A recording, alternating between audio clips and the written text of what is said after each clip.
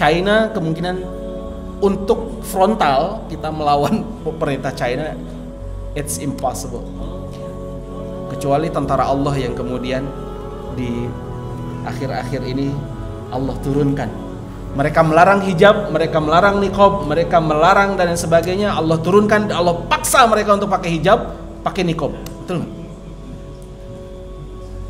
Gak boleh pakai hijab, gak boleh pakai niqab. Allah paksa sekarang semua orang di Wuhan, di China, bahkan saya ketika pulang ke Indonesia sampai di pesawat di arah ke Indonesia ini juga sama mereka pakai niqab semuanya. Makanya No Hijab Day hari ini yang sempat viral juga saya sempat menulis No Hijab Day ya jangan sampai kemudian mengundang kemarahan Allah Anda akan dipaksa oleh Allah untuk tiba-tiba Anda pakai hijab.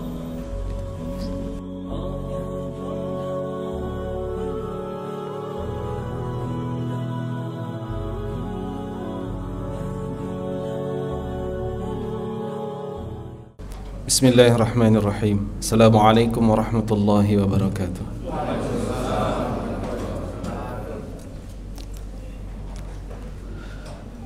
الحمد لله رب العالمين والصلاة والسلام على أشرف الأنبياء والمرسلين سيدنا ومولانا محمد صادق الوعد الأمين وعلى آله وصحبه أجمعين ومن تبعهم بإحسان إلى يوم الدين. أما بعد فقال الله تعالى في القرآن الكريم أعوذ بالله من الشيطان الرجيم. بسم الله الرحمن الرحيم. إنما المؤمنون إخوة فأصلحوا فأصلحوا بين أخويكم واتقوا الله واتقوا الله واتقوا الله لعلكم ترحمون.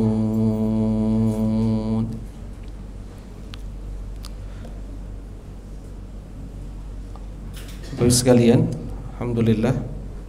Bersyukur pada Allah di kesempatan hari yang penuh barakah ini di masjid yang penuh dengan limpahan rahmat dan kasih sayang Allah ini. Di waktu yang juga mustajab ini karena salah satu waktu yang mustajab adalah ba'da shalah saya bisa bersilaturahim dengan Bapak Ibu sekalian para tokoh masyarakat, para tokoh agama, para tokoh cerdik cendikia dan lain sebagainya yang tidak mungkin saya sebutkan satu persatunya. Dengan satu harapan yang selalu panjat saya panjatkan kepada Allah Subhanahu wa taala setiap kali saya berjumpa dengan siapa pun saya selalu berharap kepada Allah Subhanahu wa taala bahwa per, semoga pertemuan kita perjumpaan kita duduk bersamanya kita adalah isyarat perjumpaan kita selanjutnya di surga Allah nanti semua masalah hidup apa pun itu, balik itu masalah pribadi ataupun masalah global, semuanya sejatinya bukan masalah. Kita tidak punya masalah. Masalah kita cuma satu. Kalau nanti kita pulang ke akhirat kita tidak masuk surga. Itu saja. Apa yang terjadi, baik itu permasalahan pribadi ataupun permasalahan sosial secara global, sejatinya adalah cara Allah untuk kemudian menguji kita semua sampai sejauh mana kecintaan kita kepada Allah, kecintaan kita kepada Rasulnya dan kecintaan kita kepada sesama orang-orang yang beriman. Makanya ketika mulai tahun 2017 Human Rights Watch mereport sebuah laporan bahwa di salah satu provinsi paling besar di China itu terjadi sebuah pelanggaran hak asasi manusia. Lalu kemudian di tanah air mulai viral di tahun 2018 Oktober 2018 mulai media kemudian memviralkannya dan lain sebagainya. Kemudian juga ada respon dari umat Islam pada saat itu tahun 2018 itu. Kalau tidak salah hari Jumat tanggal 22 Desember 2018 respon terhadap pemberitaan yang muncul di media bahwa telah terjadi pelanggaran hak asasi manusia terhadap saudara-saudara muslim kita di Xinjiang etnis Uighur responnya adalah dengan melakukan sebuah unjuk rasa pada saat itu aksi demonstrasi di depan kedutaan besar Republik Rakyat China di Jakarta namun sayangnya sebetulnya tahun 2018 itu tidak ada satupun yang bisa mengkonfirmasi baik itu jurnalis ataupun lembaga kemanusiaan ataupun yang lainnya secara langsung ke Xinjiang. Maka kabarnya selalu beritanya selalu ngambang dan selalu menjadi bahan tanda kutip bahan olokan. Kenapa bahan olokan? Karena search beritanya, sumber beritanya itu kebanyakan muncul dari berita media Amerika. Inggris dan Amerika, BBC dan juga CNN. Sementara dari media Islam, baik itu media Islam internasional ataupun media Islam nasional, belum ada satupun yang bisa mengkonfirmasi apakah itu benar kejadiannya atau tidak. Karena pasca demonstrasi itu, pasca aksi di depan kedutaan besar Republik Rakyat China tersebut, dubes China untuk Indonesia menjawab segala sesuatunya dengan apa yang disampaikan oleh umat Islam itu keliru. Nothing happened in China. Tidak ada yang terjadi di China. Relation between uh, hubungan antara umat Islam dengan government dengan pemerintah Republik Rakyat China fine-fine saja, tidak ada masalah. Silakan Anda lihat ke Guangzhou katanya begitu.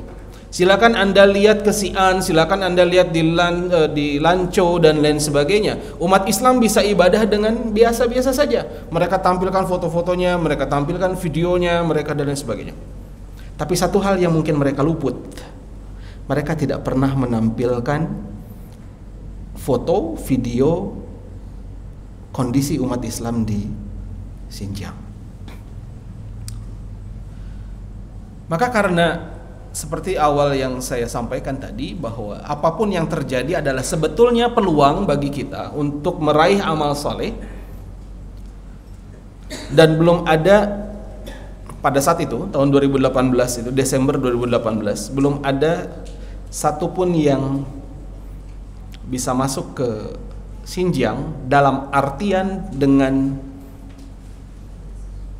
tidak difasilitasi.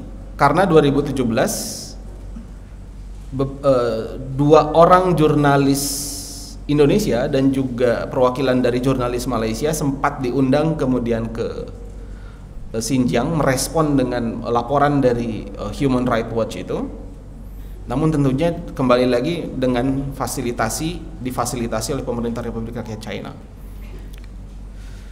Yang tanpa melakukan tanpa ada fasilitasi melakukan klarifikasi apakah benar atau tidak. Yang benar media barat atau yang benar keduta besar Cina. Qadarullah pada saat itu saya dimudahkan oleh Allah Subhanahu wa taala untuk kemudian bisa masuk ke Xinjiang. Walaupun melalui tahapan proses yang cukup menegangkan.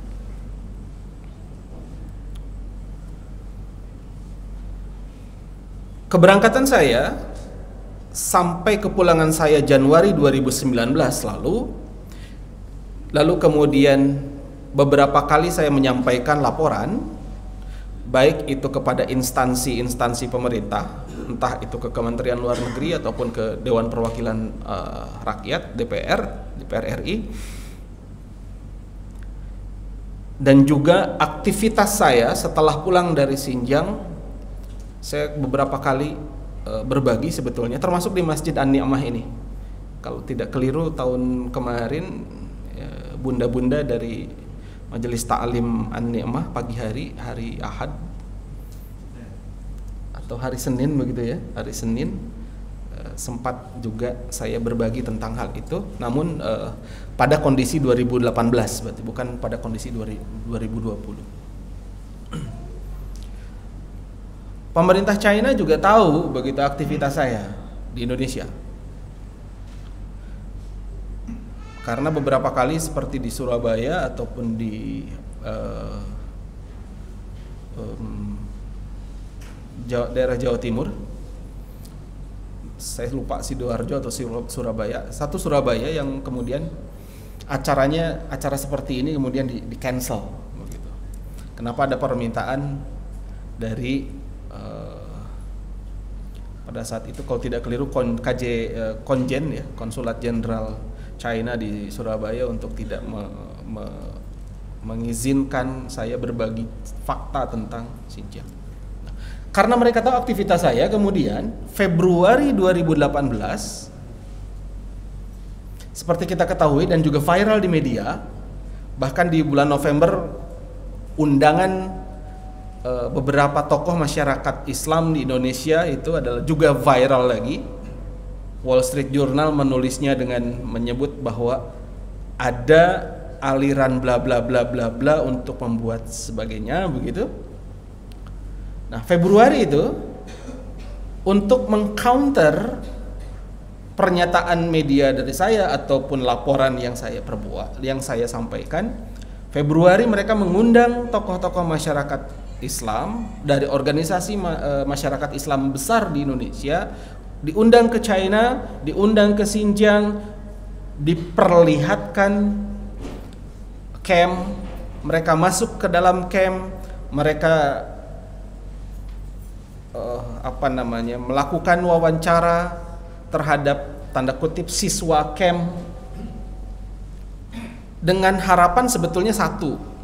Kalau saya baca begitu dengan harapan saya satu siapa sih Azam, siapa sih Ami begitu hanya saja hanya hanya sosok seorang biasa saja, orang tidak mewakili organisasi besar.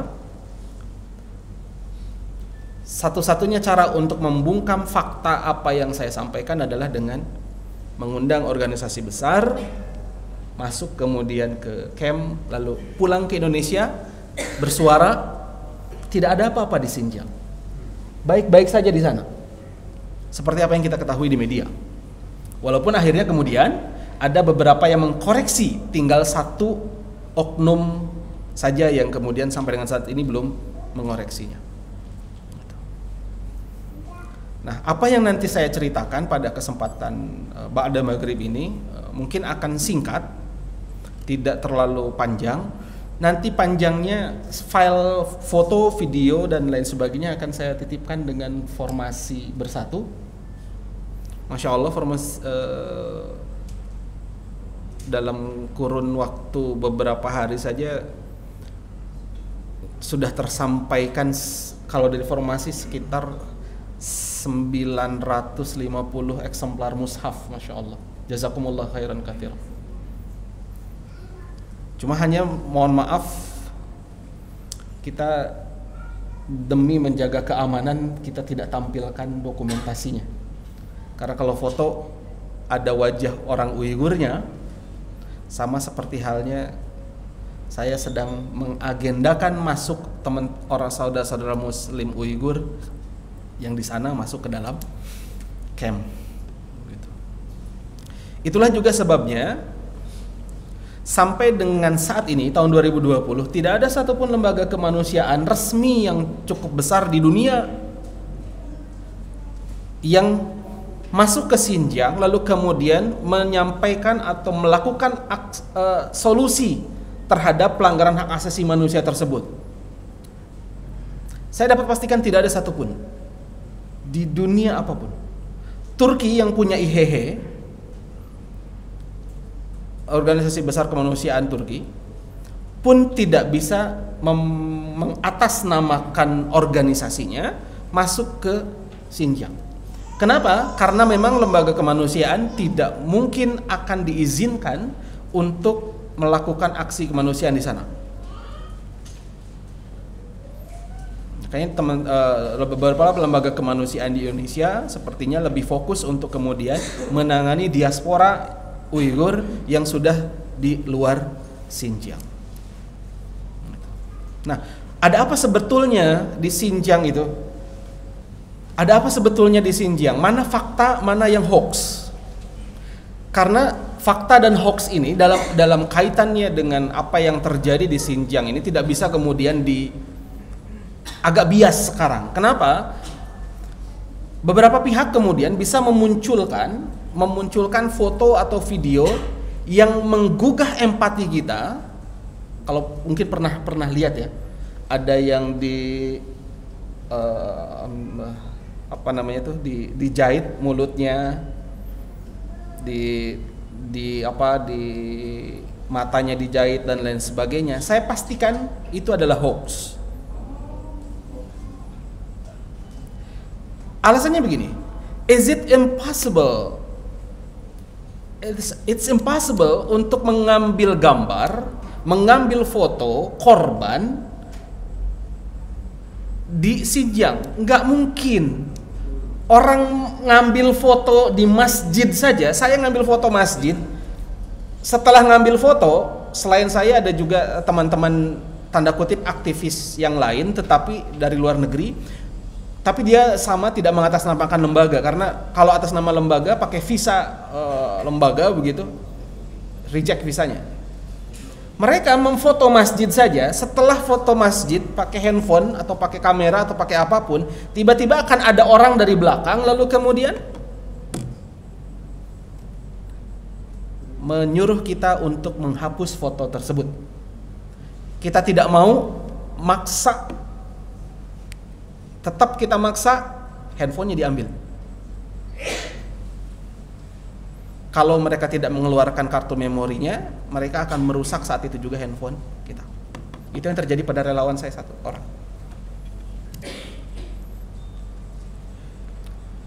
Jadi tidak mungkin mendapatkan foto itu. Lalu kemudian foto di dalam video di dalam camp itu juga tidak mungkin tidak mungkin orang independen itu bisa masuk ke dalam camp. Saya saja itu hanya bisa masuk ring 2 saja. Itu pun sudah diusir-usir gak jelas. Sudah dimarah-marah, diusir-usir, diancam dan lain sebagainya. Lah kok bisa masuk ke dalam camp uh, dapat foto, dapat video? Artinya difasilitasi dong. Kalau itu difasilitasi, ada tujuan apa kemudian bisa membagikan video kekerasan dalam camp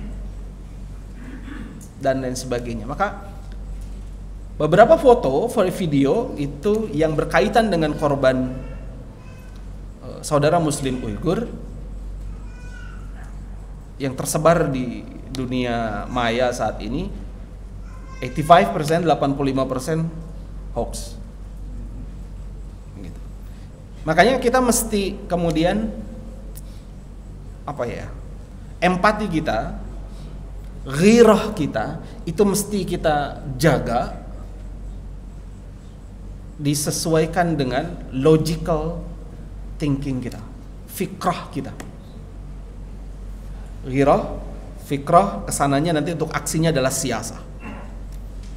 Siasanya mesti jelas. Karena pada saat ini China kemungkinan untuk frontal kita melawan pemerintah China it's impossible kecuali tentara Allah yang kemudian di akhir-akhir ini Allah turunkan mereka melarang hijab, mereka melarang niqab, mereka melarang dan lain sebagainya. Allah turunkan, Allah paksa mereka untuk pakai hijab, pakai niqab. Betul nggak? Gak boleh pakai hijab, gak boleh pakai niqab. Allah paksa sekarang semua orang di Wuhan, di China, bahkan saya ketika pulang ke Indonesia sampai di pesawat di arah ke Indonesia ini juga sama mereka pakai. nikob semuanya. Makanya no hijab day hari ini yang sempat viral juga saya sempat menulis no hijab day ya jangan sampai kemudian mengundang kemarahan Allah Anda akan dipaksa oleh Allah untuk tiba-tiba Anda pakai hijab tapi saya mendukung no hijab day kenapa mendukung karena saya laki-laki biarkan muslimah saja yang pakai hijab lalu apa yang sebetulnya terjadi di Xinjiang apakah sebetulnya Sinjang itu baik-baik saja? Dari mulai tahun 2018 sampai dengan kemarin, dua minggu kemarin, saya baru pulang juga dari dari sana. Kalau dari kasat mata, mungkin akan kita mengambil kesimpulan Xinjiang itu baik-baik saja. Karena kondisi provinsi Xinjiang, apa pun kotanya, baik itu Urumqi ibu kotanya, Kasgar ibu kota yang paling, kota yang paling tua, Aksu dan sebagainya dan sebagainya, tidak sama seperti halnya kondisi apa namanya uh, daerah konflik di daerah yang lain di negara yang lain kita sering kali menganggap bahwa Xinjiang itu mirip dengan eh, Syria misalnya. Kita menganggap bahwa Xinjiang itu mirip dengan Palestina misalnya. Tidak sama sekali. Karena di Xinjiang itu sama sekali kalau secara fisik mereka tidak merusak fisik. Bangunan masjid banyak.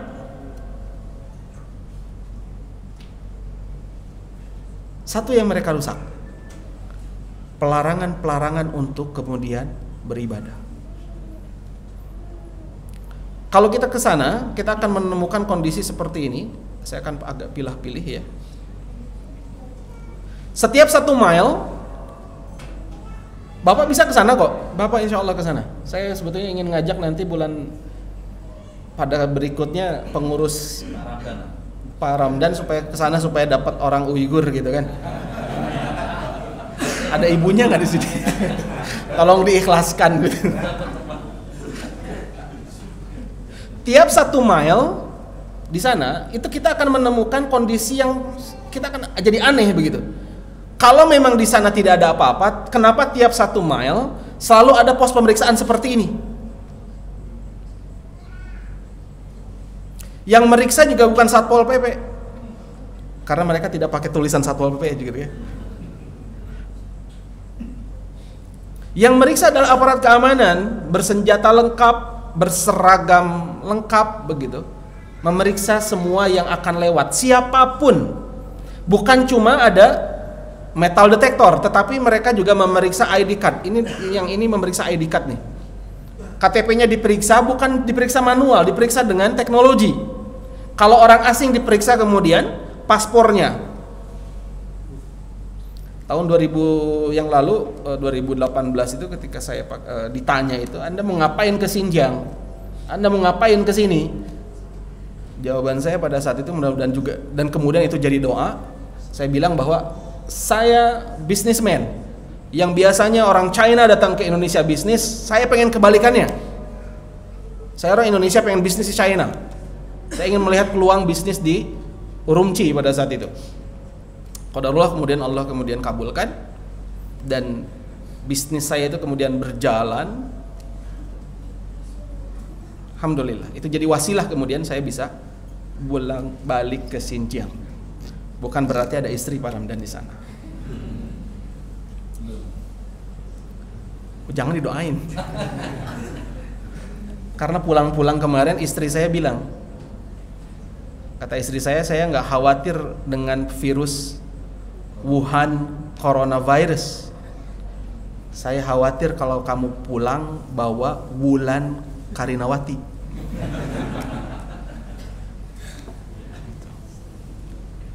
Kalau kita aware, tidak mungkin kemudian daerah itu tidak ada apa-apa kalau kemudian dijaga begitu ketatnya. Bukan cuma itu, masjid Masjidnya banyak, oke, okay, masjidnya banyak. Namun berbeda halnya perlakuan orang yang mau masjid masuk ke masjid di provinsi lain di China dibandingkan dengan di Xinjiang. Di provinsi yang lain, kalau Bapak Ibu pernah ke China, ke Makau sekalipun, masuk ke dalam masjid, Bapak Ibu tidak akan diperiksa apa pun. Tapi coba sholatlah di Xinjiang. Apa pun kotanya, termasuk kota besarnya, Urumqi misalnya, ibu kotanya. Masuk ke sana, Bapak Ibu akan menemukan kondisi masjid seperti ini. Saya terpaksa memfotonya dari belakang karena memang foto di depan tidak bisa, diusir, dihapus, diambil hand, yang saya khawatirkan diambil handphonenya, dirusak begitu. Tahun lalu Galaxy Note itu kan 13 jutaan ya?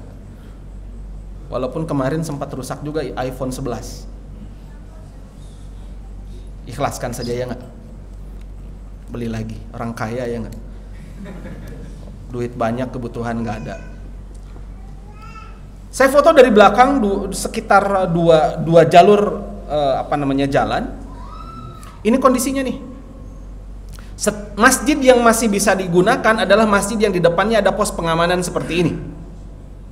Ini tahun 2018.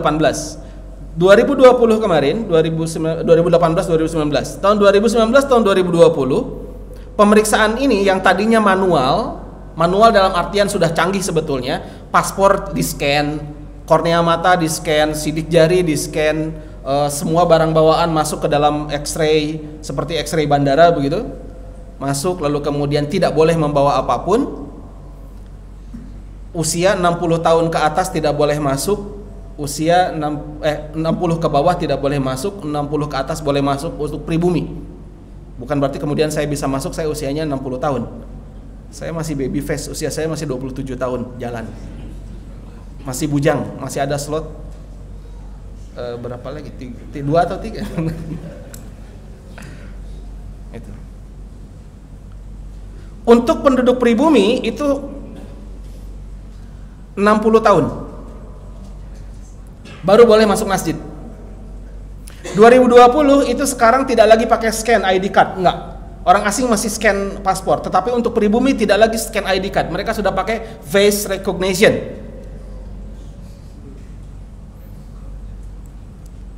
Ada kamera di foto.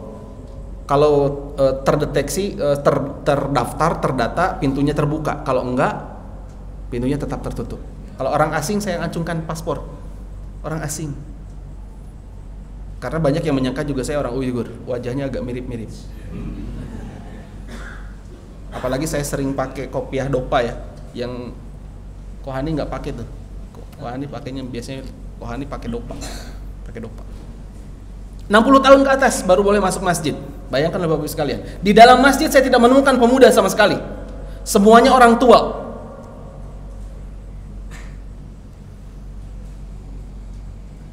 Ini dijaga ketat. Yang menyedihkan lagi adalah masjid dibuka dalam jangka waktu yang sangat sebentar. Kita di Indonesia sangat bebas. Setelah salam bisa berzikir baik itu yang berzikirnya dijaharkan, dikeraskan ataupun disirkan, dilemah lembutkan. Bebas. Saking bebasnya kadang-kadang jadi berantem tuh. Setelah sholat kita bisa baca Quran, setelah sholat kita bisa berdoa. Di sana tidak bisa sama sekali. Setelah imam salam, assalamualaikum warahmatullah, assalamualaikum warahmatullah Aparat keamanan yang berjaga di sini, yang berjaga di pos ini masuk ke dalam masjid bersenjata, bersepatu, berseragam, menepuk pundak kita masing-masing, lalu kemudian menyuruh kita untuk segera keluar. Maka beruntunglah kita sebetulnya di Indonesia bisa kemudian setelah salam berzikir sebanyak-banyaknya. Ini yang kemudian tidak ditemukan oleh teman-teman di tokoh ormas Islam itu. Kenapa ya? Mereka menurut pengakuan mereka juga ketika masuk ke dalam hotel mereka juga tidak bisa keluar kecuali keluar untuk diagendakan. Sholat sudah ditentukan sholat sholat di sini sholat di musola hotel saja. Kami sudah buatkan bagaimana mereka bisa mengunjungi masjid-masjid yang kemudian kondisinya seperti ini? Apa yang menyedihkan lagi di dalam masjid? Sebagai orang asing mungkin saya bisa uh, di mana pun ya saya kalau ketemu orang asing muslim ya tentunya kita juga ingin mengucap salam assalamualaikum. Nih hao ma? Apa kabar? Sayangnya saya tidak menemukan jawaban dari mereka. Mereka seakan-akan jadi kota bisu. Semuanya diam. Assalamualaikum, diam. Kenapa? Saya baru tahu pada saat kemudian saya melirik ke atas, ke kiri, ke kanan, mereka punya CCTV yang bukan cuma banyak tetapi besar. Kalau Bapak Ibu pernah umrah, haji, di ujung sofa dan uh, sofa itu ada kamera besar ya. Bentuknya besarnya seperti itu, HD berarti. Artinya yang dia pantau itu bukan cuma hal yang sepele tetapi betul-betul mukanya juga dipantau. Sehingga kalau ada interaksi antara dia dengan orang asing, masyarakat Uyghur dengan orang asing di dalam masjid, siap-siaplah kemudian untuk masuk ke dalam camp.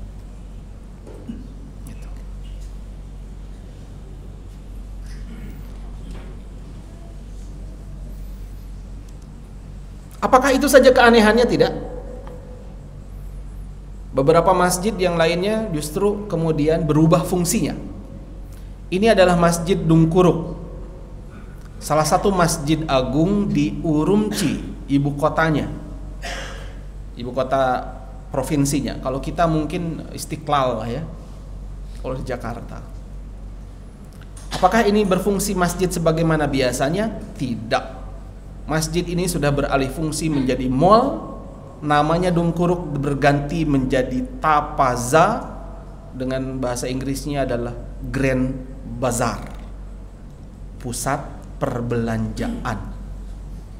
Masuk ke sini ada karpetnya ada, tapi tidak bisa sholat karena jadi tempat jualan.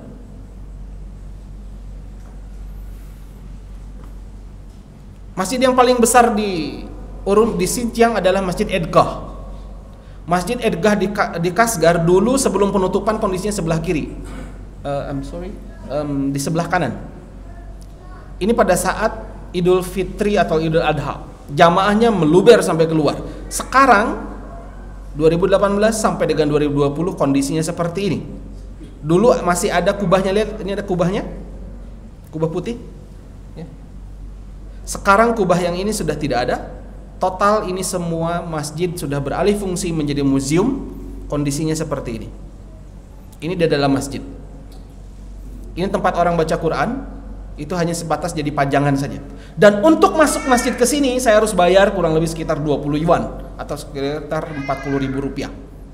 Yang menyedihkan lagi apabila perempuan yang masuk ke dalam masjid idkah ini berhijab misalnya orang asing berhijab kalau mau masuk ke dalam sini diminta diperintahkan untuk membuka hijabnya.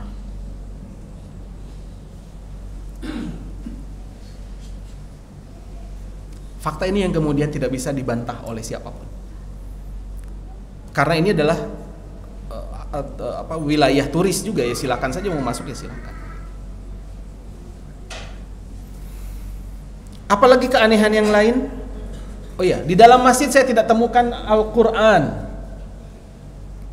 Itulah sebabnya kenapa concern kami, concern saya dan teman-teman semua adalah ke Al-Qur'an karena di sana di masjid sekalipun tidak ada seperti halnya di masjid-masjid kita yang ada Al-Qur'an. Tidak ada di rumah-rumah, tidak ada yang di rumah-rumah ada Al-Qur'an. Kenapa tidak ada?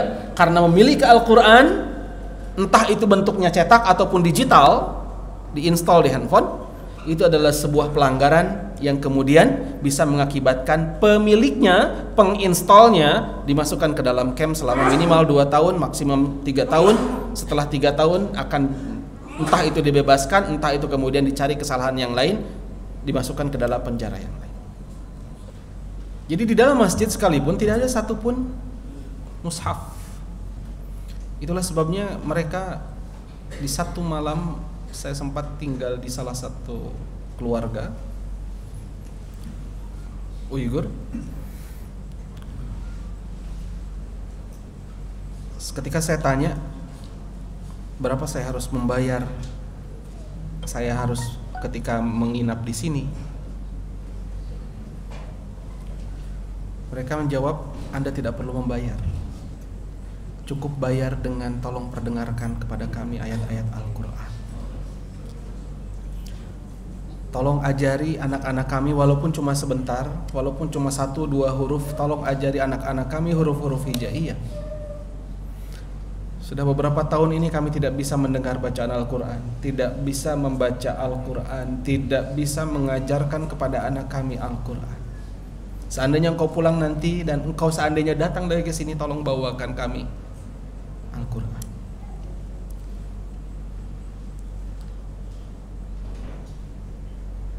Itu kerinduan mereka Mereka tidak punya masalah internal untuk berinteraksi dengan Al-Quran mereka punya masalah eksternal. Kita sebaliknya, kita tidak punya masalah eksternal, kita masalahnya internal. Baca Al-Quran dikit-dikit jadi obat tidur ya nggak? Baru baca dua tiga halaman sudah. Ini baris kedua dibaca, kenapa lompat ke baris lima kan gitu? Kunang-kunang.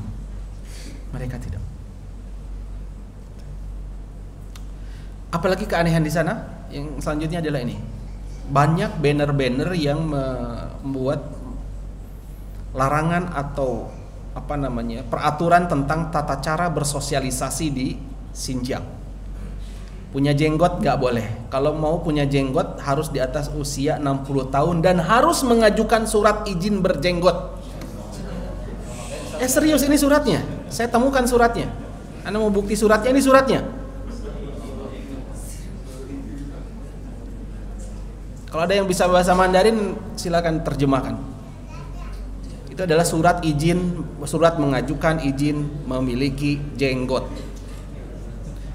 Di sana detail alamat, rumah, tinggi badan, usia dan lain sebagainya biodata ditambah dengan pandangan keislaman. Mazhab apa gitu kan. Jenggot saja harus pakai surat izin. Ini nggak boleh. Jenggot gak boleh pakai baju yang punya logo yang logonya ada nuansa Islam tidak boleh. Wanita tidak boleh pakai hijab, nggak boleh pakai niqab. Yang diperbolehkan hanya yang sebelah kiri saja, yang ini saja. Pakai dopa boleh karena dopa bukan khas Islam, tetapi dopa adalah khas Uighur. Sehingga kalau di kita mungkin pakai blangkon boleh, pakai kopiah nggak boleh begitu. Pakai sorban nggak boleh. Perempuannya bolehnya seperti ini saja.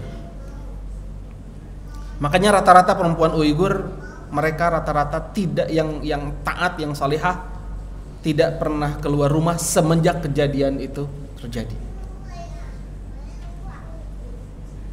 Masya Allah Solehah banget dah pokoknya Cocok untuk Pak Ramdan insya Allah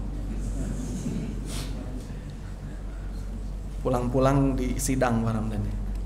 Yang selanjutnya keanehan selanjutnya adalah terlampau banyak spanduk-spanduk yang bertuliskan seperti ini. Yitianzo Wuchi Wan Mahai Chang Dabu Geini Kau Bauji Salat lima waktu tidak membuat Tuhan memberikan roti kepadamu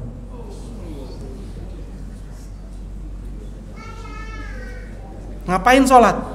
Tuhan juga ngasih roti. Qadarullah Masya Allah. Allahu Akbar. Sekarang ini Di Wuhan itu Dan di provinsi yang lain Yang tadinya ateis begitu kan? Mayoritas di China ateis. Jadi bukan Buddha. Karena Buddha hanya mayoritas di Tibet. Muslim mayoritas di Xinjiang Di Ningxia.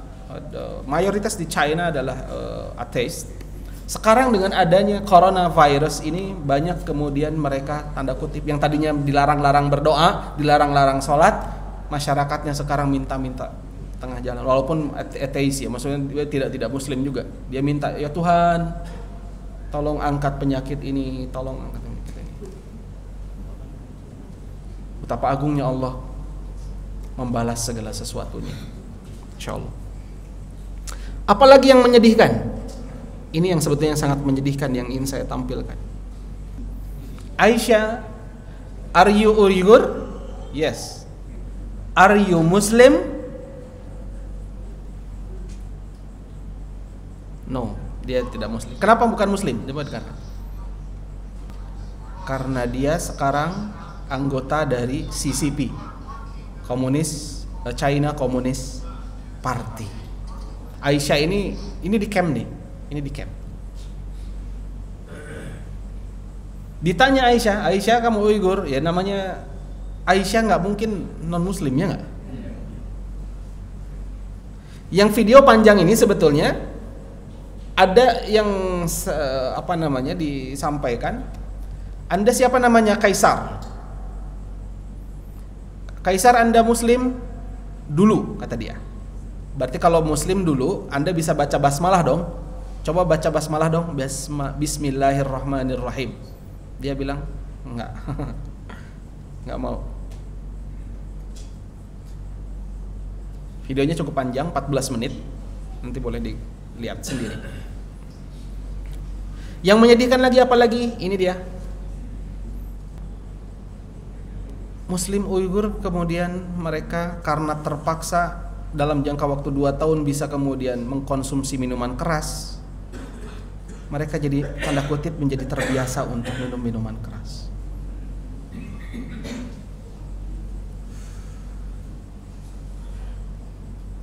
Ini juga sama.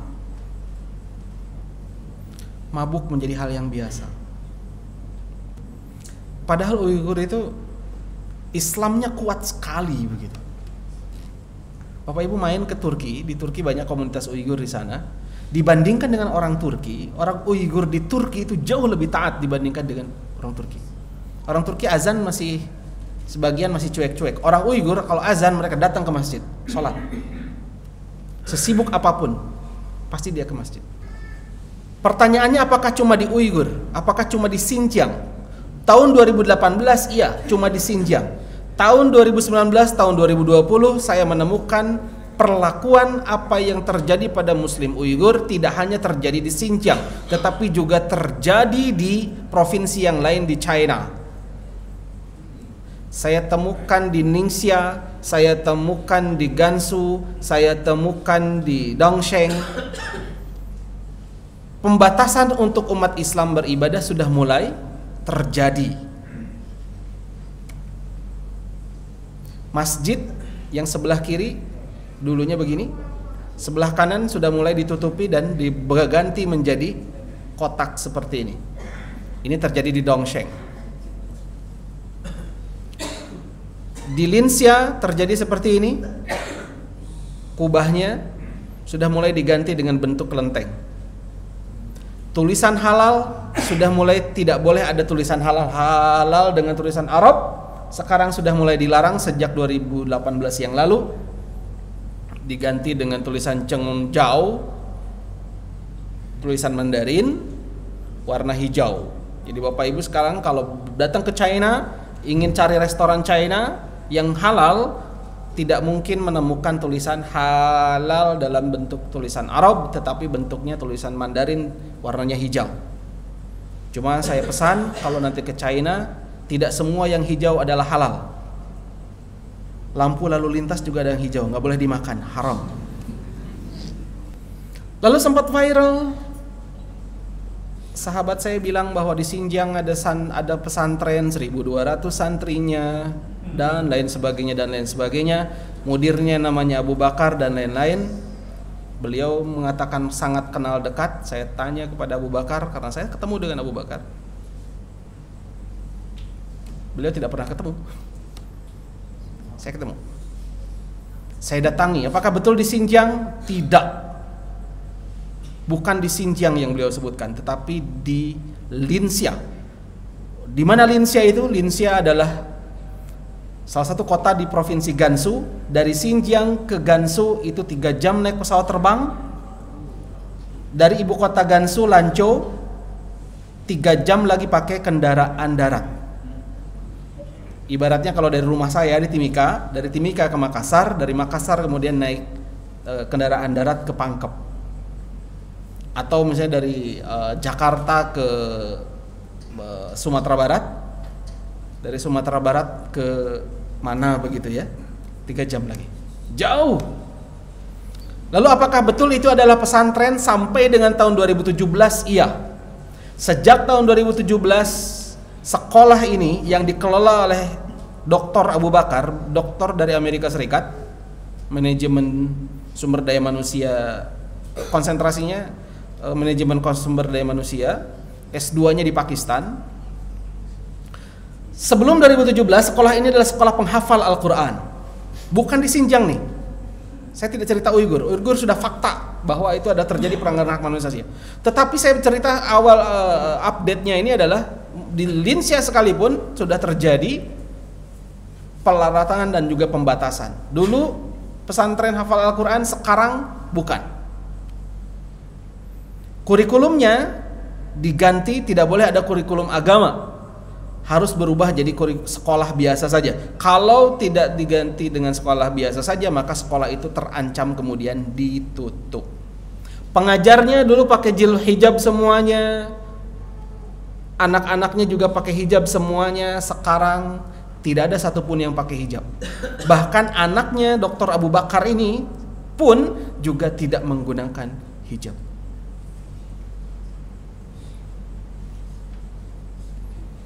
Ini guru tek, jadi TK biasa saja. Di sana ada 500 siswa, tidak sampai 1200 dan itu hanya pada tingkat TK sampai dengan SMP saja. Dulu ruangan ini adalah musola. Bisa dilihat kalau di China, musola itu dapat dipastikan berwarna biru. Kenapa berwarna biru? Karena biru melambangkan ketenangan. Jadi kalau ruangan ada warna biru itu uh, dipastikan tempat ibadah begitu. Sekarang musola ini tidak sama sekali bisa difungsikan, diganti kemudian peruntukannya untuk dansa. Disimpan piano di sana. Walaupun kemudian Abu Bakar bilang, walaupun sebetulnya dansanya juga nggak ada kata dia. Tapi ini jelas syarat juga untuk kemudian bisa eksis sekolahnya. Demikian.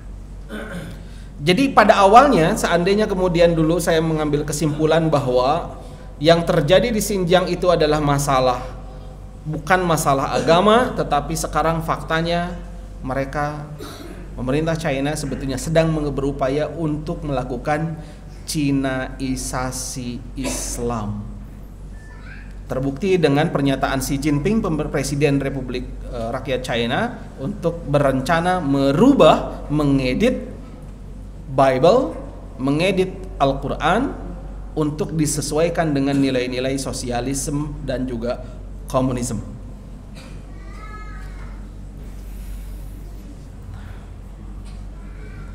Di sini sebetulnya saya ingin menyampaikan akar permasalahan dan lain-lain, cuma waktunya memang tidak sempat. Silahkan nanti menikmati filenya saja. Uh, bisa nanti lewat uh, Pak Ramadan insya Allah silakan dibagikan dengan pesan satu pesan jangan pernah mengedit secara digital file yang dibagikan ini karena kalau diedit lagi secara digital ya repot. Makanya kemungkinan ini akan saya bagikan bentuknya itu adalah PDF yang tidak bisa kemudian diedit. Videonya juga mungkin kemungkinan akan jadi video yang juga tidak bisa diedit. Ini saya sekilas saja waktu kemarin menyampaikan apa yang dibantukan agak sekilas saya khawatir terekspos orang-orangnya ini yang mereka menerima boneka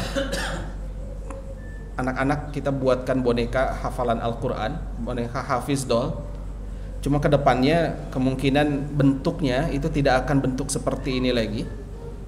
Karena bentuk seperti ini agak cukup riskan.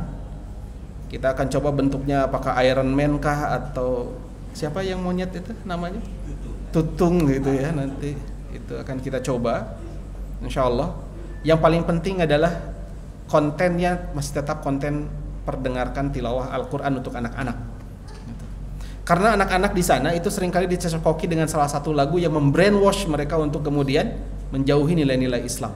Di sekolah diputar lagu itu, di jalanan diputar lagu itu, lagunya sama. Sampai-sampai saat ini saya kalau dengar lagu itu saya juga ingat itu lagunya itu. Orang dewasa seperti saya yang sering begitu ketemu ya sebulan di sana, sebulan di sana, sering mendengar lagu itu jadi ingat. Apalagi anak-anak. Makanya kita coba rubah dengan cara yang baik, sebaik-baiknya juga dengan cara yang sangat aman insya Allah walaupun kemudian nobody can keep us safe except Allah tidak ada yang bisa kemudian bisa membuat kita aman kami aman kecuali adalah Allah ya kita hanya bisa berikhtiar saja untuk kemudian bisa menyelamatkan Al-Quran, menyelamatkan nilai-nilai Al-Quran, nilai-nilai Islam tetap berada di dada-dada kaum muslimin Uighur ataupun kaum muslimin yang lainnya. Malam ini sebetulnya sejatinya akan diagendakan datang saudara kita dari Uighur. Barusan me-WhatsApp saya, beliau mengatakan mohon maaf sudah pada posisi ke sini dari Ciputat ke sini. Tapi beliau mengatakan mohon maaf mengcancelnya karena satu hal kenapa? Karena di bannernya ada tulisan ada gambar saling sapa TV ya. Nah, beliau sangat takut terekspos, mungkin nanti boleh nanti diundang ke sini, uh, tapi tanpa kemudian diekspos ya. Kalaupun ada banner ya tidak usah pakai banner, diundang saja, gitu. datang datang saja. Boleh dianggap. Beliau tinggal di Jakarta, beda dengan saya, mungkin agak, agak kesulitan kalau mengundang saya. Uh, saya harus dari Timika datang ke sini atau dari mana datang ke sini begitu. Uh, mengatur waktunya juga agak cukup sulit. Uh, kalau beliau tinggal di Indonesia mudah-mudahan beliau bisa tetap semangat dan tetap selamat di Indonesia. Karena sudah mulai diminta untuk kemudian kembali ke China salah seorang temannya sudah kembali ke China 2017 yang lalu. Sempat berfoto dengan teman saya yang berdiskusi cukup panjang dengan yang 1200 santri itu. Beliau sepertinya kenal dengan beliau karena fotonya juga ada. Tapi sekarang bernasib namanya Abdullah. Yang namanya yang ini saya tidak akan sebutkan nanti bisa kenalan sendiri insya Allah. Itu namanya Abdullah. Abdullah sejak 2017 masuk ke dalam camp dua tahun setelah itu 2019 dikeluarkan dari camp tapi tidak dibebaskan dia difonis penjara 13 tahun. Kenapa? Karena pernah sekolah pondok pesantren di Indonesia.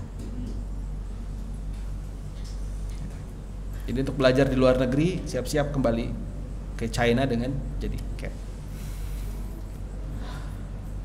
Mungkin singkatnya itu ingin panjang lebar tetapi slide ini ada 92 slide.